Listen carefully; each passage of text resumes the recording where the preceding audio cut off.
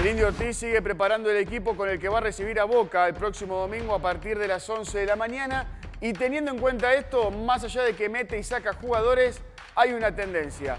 Por ahora, Brian Alemán. Sí, quizás el jugador distinto de gimnasia, que no viene jugando bien, se está quedando fuera de partido, por lo menos desde el arranque. Habrá que ver qué sigue probando en estos días que faltan para el cotejo, pero es toda una señal, es todo un indicio. Después tenemos que hablar de un saludo muy particular, porque claro, en la jornada de hoy el Estadio del Bosque cumple 94 años y uno de los que tanto eh, se hicieron presentes en las redes sociales mencionando justamente esta fecha es Pedro Antonio Troglio. ¿eh?